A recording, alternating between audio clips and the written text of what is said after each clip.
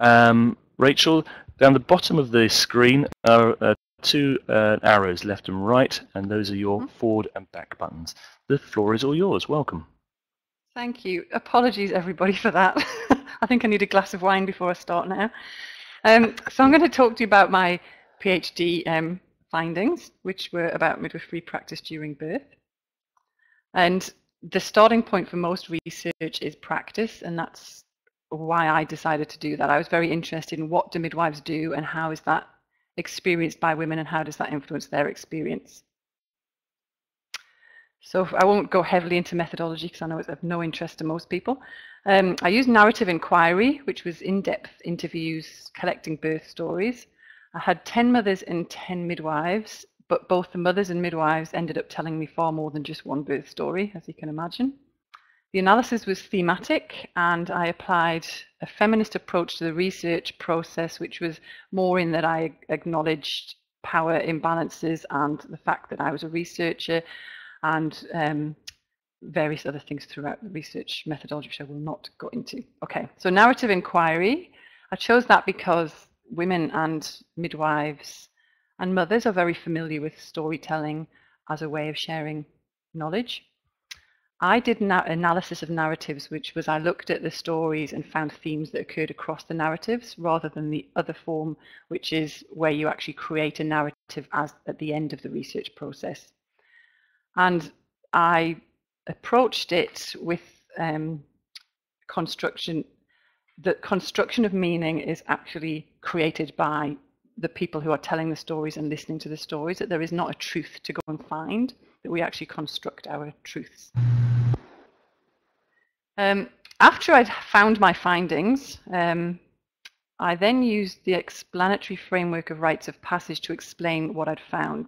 Um, I didn't find that, um, in, I didn't set out to find that. I had all these findings and was doing a lot of reading around how can I make this all make sense, and then came across an old article and it all fell into place around rites of passage. So Van Gennep and Turner um, were really kind of at the forefront of developing this theory around the stages of rites of passage, and um, it is it's from anthropology really. However, they were men and they were very much looking as outsiders on small scale societies. So I was looking at women. So I was trying to apply a feminist lens, and it was I was looking at um, something that I was part of as well. So it wasn't really from an outsider's perspective. So let's look at the different phases in the rite of passage. So this is any rite of passage. So from boy to man, from I don't know, you can see it in society in in graduation, for example. There's lots of it, but it's often hidden in the society that it occurs in because it's normal for us. So the separation phase is where there's a um, separation of that person from their previous status. Um, and then they enter into the liminal phase, which is where they are neither this nor that. They are between states. Um, Turner referred to people undergoing a rite of passage as a neophyte, and that they were of, often considered to be in another, place. So often boys would be taken away from villages to, to um, as a rite of passage to become men, in which in the liminal phase they would be considered to be neither man nor boy. There would be um, rituals performed around that, which would reflect to them what was expected in their new status. Um, and in terms of labour, the physiological process of labour itself, that rhythmic um, aspect and the pain that's inherent in birth, um, naturally transports women into this almost altered state of consciousness. And then the incorporation phase, which is where the person going through the rite of passage um, takes on board the lessons learned through that rite of passage and this transformation and growth. So I don't want to, I haven't got a lot of time. So basically I'm looking at rituals cushion disturbance and there's often rituals enacted around rites of passage in times of danger or times of concern for humans. Um, and I've used the term ritual in my research as anything that is repetitively and routinely done for every woman in labour. So this isn't the things that we do for a specific woman, it's things that midwives were doing for every, for every birth pretty much. And I ended up conceptualizing midwifery practice as ritual companionship. Now that wasn't um, that Turner and Van Gennep talked about instructors and guides, which were like shaman or elders who would um, would take a person through a rite of passage, and that still happens throughout the world. But I didn't feel that midwives were really guides or instructors; they were more of a companion. So that's why I decided on the word companionship as opposed to instructor. Okay, so this is my, my entire thesis. I wish I could have just handed that in. So these are the major themes. And as you can see, there's some intersecting themes between women's experience and midwifery practice. And then there's a little bit of theme off to the side, which I shall explain. So the rites of passage. Oh, that's interesting. It's gone off to the side. Anyway, you twist your head and look at that. Um, these were the themes that came under the rite of passage. So for women, they experienced birth as a journey through aloneness was one of the themes, and midwives met that by tending the boundaries of that aloneness. So an example is one of the mothers talked about being in the shower um, to shut out the water. Um, the water could fill my ears, so I couldn't hear. Everything was muffled, and all I could hear was like this music in the background. I wanted everyone to be quiet. So that very much came through the women's stories that they were trying to shut out the external world.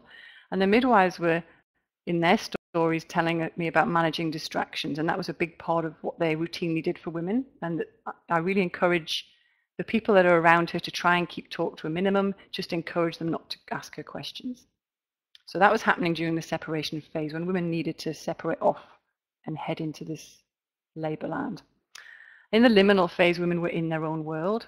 Um, but then once I went into proper labor, I did keep my eyes shut and I felt like I was in an animalistic kind of meditation, weird sort of feeling where I didn't really know what was going on around me and I didn't want to be disturbed. I was in like in another state, like in a state of mind I've never experienced, like a deep, strange meditation sort of thing. And that was all of the mothers, whether it was their first baby, second, this, there was an element of this happening in their labor experience. Now, these were all women who had had physiological births even if they hadn't had for other babies that experienced at least one physiological birth. Um, and midwives were saying that they would be with them during that. You know, I'm, I'm actually there with her in labour, but I'm not, they're connected. It's not just a job. And then in the incorporation phase, women reintegrated with the external world. So one woman was talking about the sun coming up and um, this new baby and the doors started opening in the house and they all came barreling into the bedroom. And by 10 o'clock they were all on the bed in the bedroom the whole family chatting away. So this was the woman reintegrating with the external world physically and with this new baby as a mother of this baby. And then midwives assisted that um, in hospital for example. Becky um, assisted that by trying not to rush mums and dads because you know that their time with their new baby is just so precious you know that, you can't take back that time. And what mi hospital midwives were doing was they were um, kind of help assisting with that reintegration. So there was the integration of the, fa the, the family, the mother, the baby, and partner, and then into the postnatal ward, and then the larger family, and on. So the other themes that were running through the rites of passage were self-trust and inner wisdom, and nurturing self-trust and inner wisdom. And I'm going to skip a little bit through this so I can get to the rites of protection. Um, so during labour, um, in the separation, sorry, in the separation phase, this often happened prior to labour for women. They needed to build this self-trust in their ability to birth. And midwives met that by reflecting that. So telling the woman to trust herself, um, do what her body's telling her, um, and then in the liminal phase, when women were in that altered state of consciousness, there was this real inner wisdom at work. So women were, were feeling what was happening within their body um, and just trusting that they could birth their babies. And again, the midwives reinforced that by saying, you know, trust yourself, listen to your body. All of the midwives were saying that regardless of setting. And there was midwives in mostly public hospital, um, private hospital, and some home birth and then in the incorporation phase, women felt this sense of empowerment as they um, incorporated their birth experience into the sense of self. So I love Emma's. Um, I had the most awesome birth. I felt like holding my baby abo above my head with a triumphant roar like a warrior when she was born. Unfortunately, the umbilical cord was too short. And again, the midwife was, was told me about women, a woman that she looked after who was on cloud nine for weeks afterwards. Um, so empowerment was part of every one of the women's stories that I talked to. So rites of protection. So that's the blue bit. The, um, these are the themes that didn't intersect with what women um, women's stories said. These were themes that were very much coming through in the midwifery stories and a little bit in the, in the women's.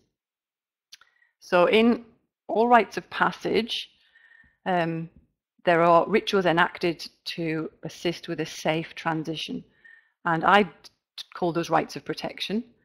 And um, the function of rites of protection is to ensure safety, but they also transmit and reflect cultural values. So within our culture, in the Western culture of birth, they are the clinical assessments. So the listening to the baby, the vaginal examinations, those routine assessments and clinical monitoring um, that happen for every birth. And midwives talked about this within their um, stories. And what these rites of um, what these rites of protection did was contradict the rites of passage. So on the one hand, you've got you've got disturbing the aloneness. You're trying to create this space where the woman's not being disturbed. One of the uh, mothers, Hilary, said, and the midwife annoyed me a bit because she tried to take my blood pressure when I was having a contraction. I would go, go away, go away. And mid, the midwives acknowledged that what they were doing was often quite disturbing for the woman. So Edith talking about um, blotting the baby's head to see where the baby's head was in the pelvis and calling it a necessary evil. Um, that it was something that you know you have to do, but aware that it was quite invasive. Um, and then they also undermined the in, inner experts. So on the one hand, we're saying to women, trust yourself, trust your body, but on the other hand, we're going, well, we'll just check that your body's working all right.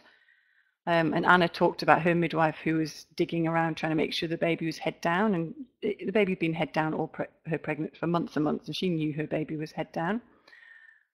And Claire, another midwife, um, found it quite um, distracting when the midwife was listening into the baby um, because she knew the baby was all right, which I think was an interesting finding for me because I wasn't.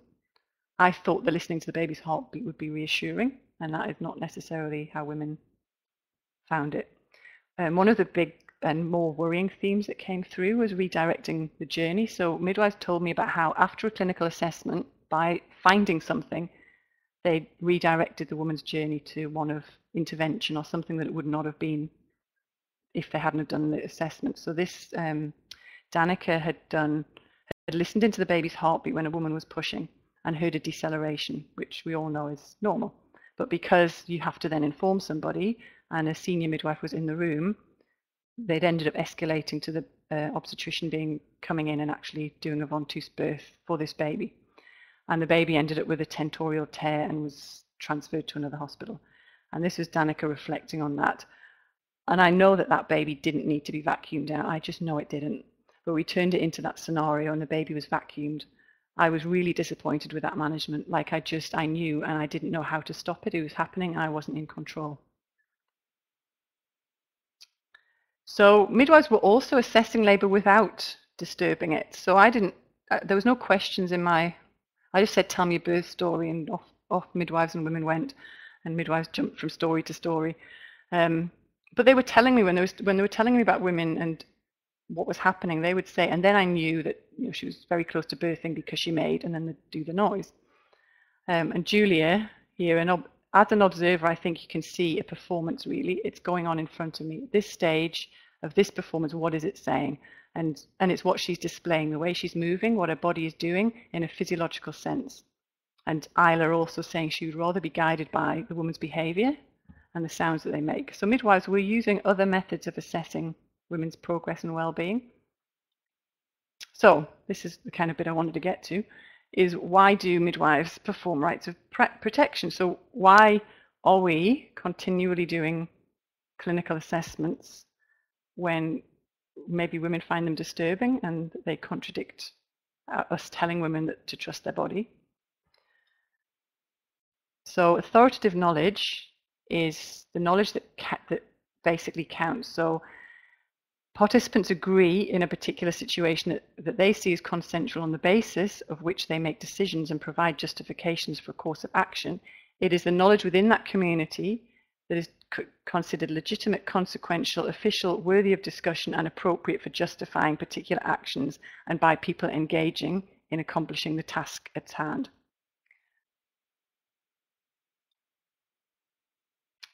And the power of authoritative knowledge is not that it is correct, but that it counts. It enables people to be accountable within their community of practice. So for midwives within midwifery community of practice, it provides a set of practices and rationale that are accepted. Um, and the community sustains, produces and sustains its authoritative knowledge. And it's pervasive because it appears to be natural and reasonable and consensually constructed. And of course, probably no surprise um, to anybody practicing in the the kind of medicalized world.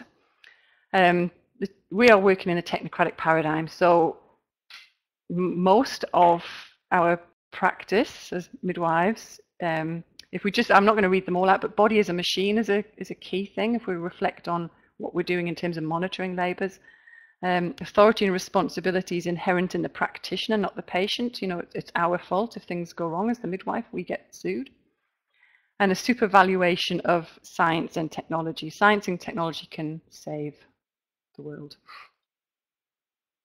Um, Davis Floyd states that as has been clear for over 20 years, most routine obstetric procedures have little or no scientific evidence to justify them. They are routinely performed not because they make scientific sense, but because they make cultural sense. And McCourt argues that despite claims of evidence-based practice in mainstream maternity care, practices are underpinned by an established hierarchy of understanding and practice rather than by research. So regardless of assertions of research-based practice, which is the maternity care system will often have guidelines and argue that this is research-based, that's not authoritative knowledge. It's actually culturally based practice. Because whether practice reflects research find findings is dependent on the culture. So here's some examples of supported by research, not supported by research. So if you have a look in the supported by research, we still haven't got a lot of that happening. Continuity of care, continuous support in labour. Not supported by research is happening a lot. CTGs, vaginal examinations, ARMs um, to augment labour.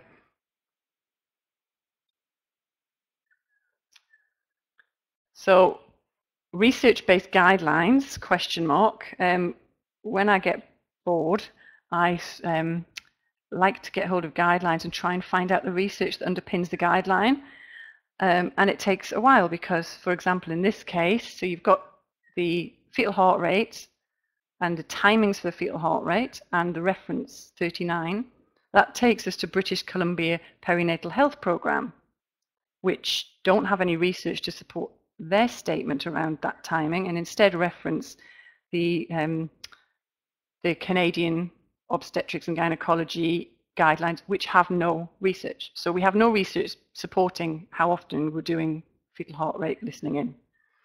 Um, and the same with the 89, which is a vaginal examinations. In fact, we've got research that suggests that four hourly are now, it's not evidence-based, that routine vaginal examination should not be part of a normal labour.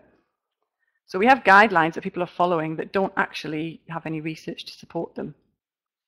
So why do midwives do it?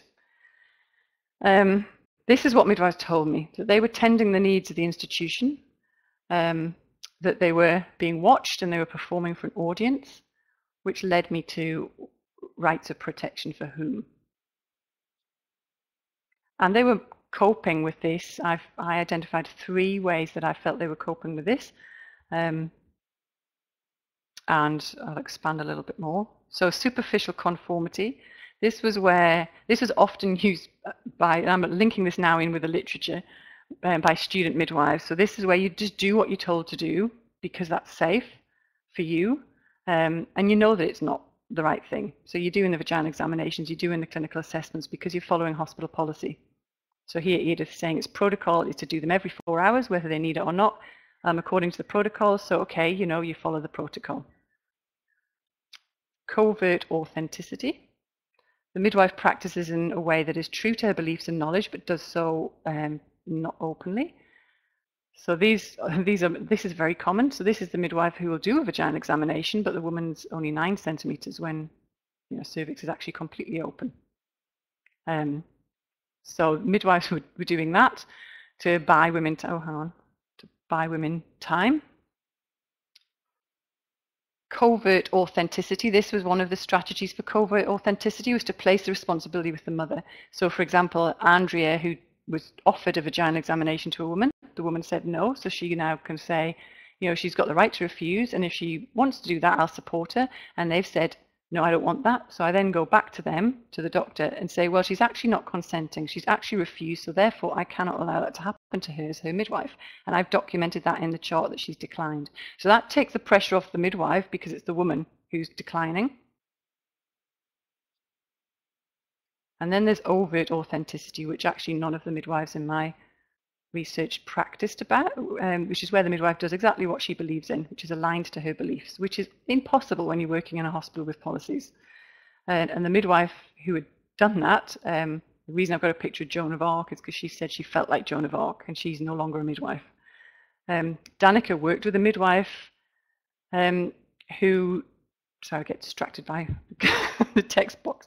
Um, Danica worked with a midwife who practiced in that way, and she was, you know, thought she was fantastic. She's wonderfully strong. She won't rupture membranes, you know, just because someone says to, type of thing. And she'd throw evidence back at, you know, the midwives who are in charge, or you know, the registrar.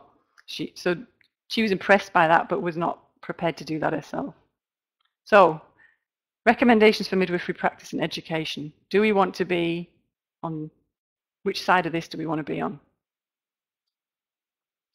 So I think this is my last slide. So valuing, this is what I came up with is what I'd like to see, is valuing with women midwifery in practice and education. So have, instead of mandatory workshops on emergencies and CTG, yes, do that, but we also need to reinforce the value of what midwives are already doing, tending the boundaries of aloneness, nurturing self-trust and inner wisdom, and really creating an environment by which women can have a physiological birth and need the interventions.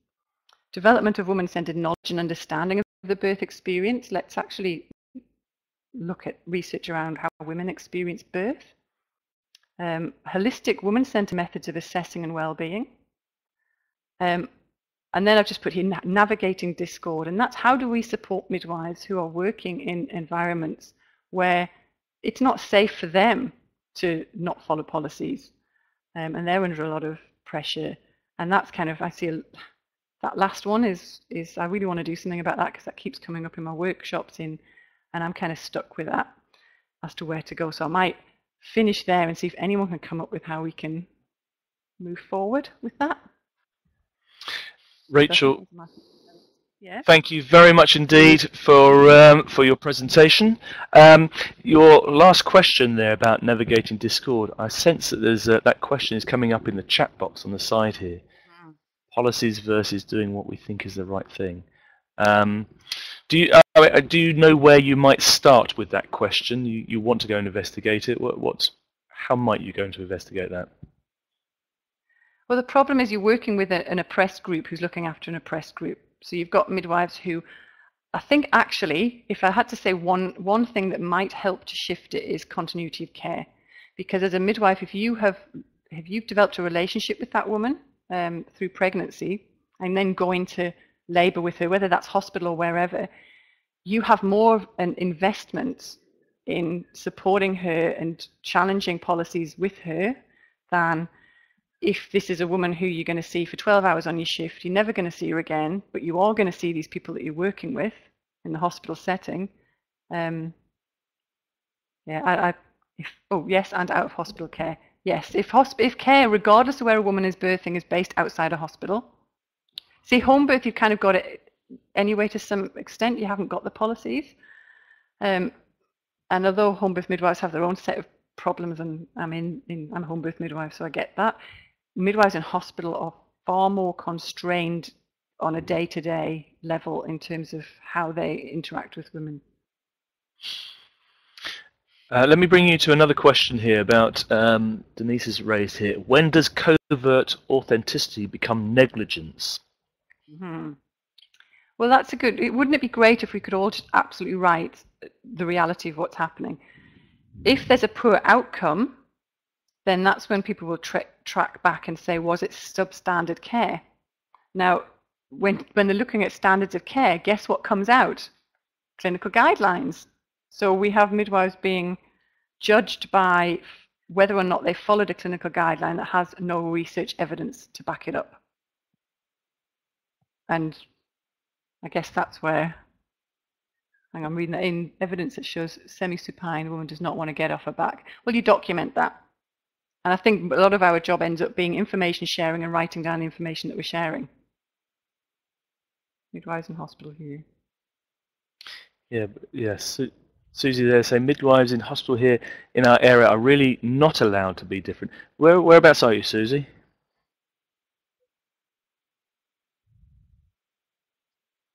Yeah, yeah. The US is, mm.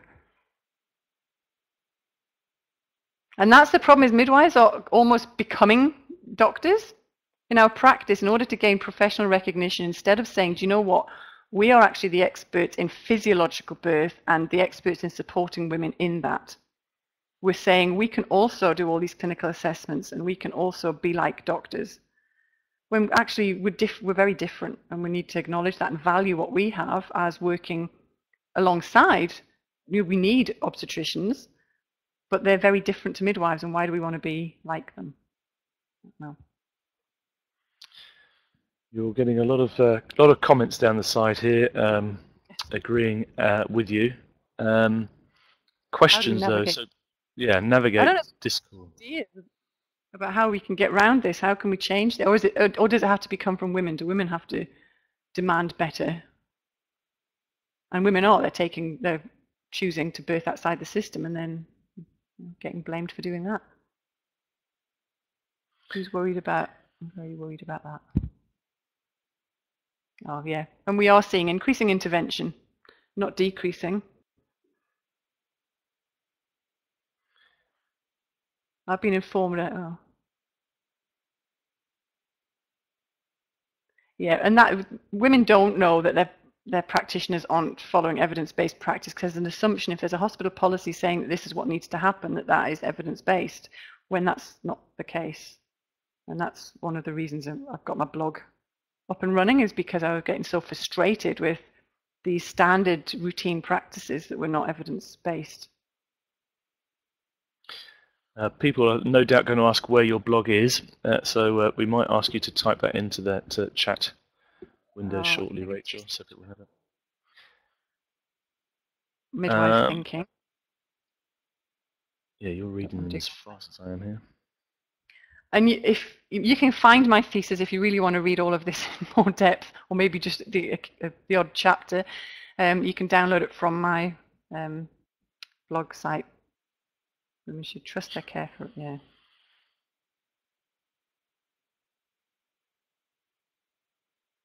Oh, thank you, Denise. uh, Rachel, we've, we've got uh, just a couple more minutes before we need to close this one off. Um, just uh, for just out of interest, do the your your findings here um, are they are they um, do they resonate with all cultures all around the world? Have you been able to explore that? Uh, they, I know um, Melissa Cheyney has done some research in the US, and they linked in a lot with what she was finding. So I think they they probably do with anywhere where you've got a medicalized system and you've got midwives attempting to provide woman-centered care within that. Um, I don't know. I mean, I can't really because the findings are really to some extent limited to the population or the, the sample that I had. I can't really then say, yep, that is the same everywhere. But it's the research that I looked at in discussing it in terms of midwifery practice. I think the UK, the US, and Australia are very similar. Mm -hmm. So um, we have we have um, an audience here from all around the world. So um, again, in the chat box here, uh, as we're closing this session off, would be uh, might be interesting for people to to um, reflect their their their views on on how your findings uh, resonate in their in their own uh, places of work. Um, Rachel, I think we're going to have to pull this to a, a close now. Thank you very much for um, uh, managing to calmly step into the into the uh, in the place after the technology failed on you. Um, you did a great job. Uh, we got through that. Much appreciated. Uh, I just need to slide through a couple of ending slides here for uh, our um, for our audience. Uh, I'm going to switch off the recording here. If I can remember how to do that. Well, I'll come to that in just a short while. Um, audience, we'd be delighted, please, to have um, uh, a photograph of you uh, from where you might be sitting this very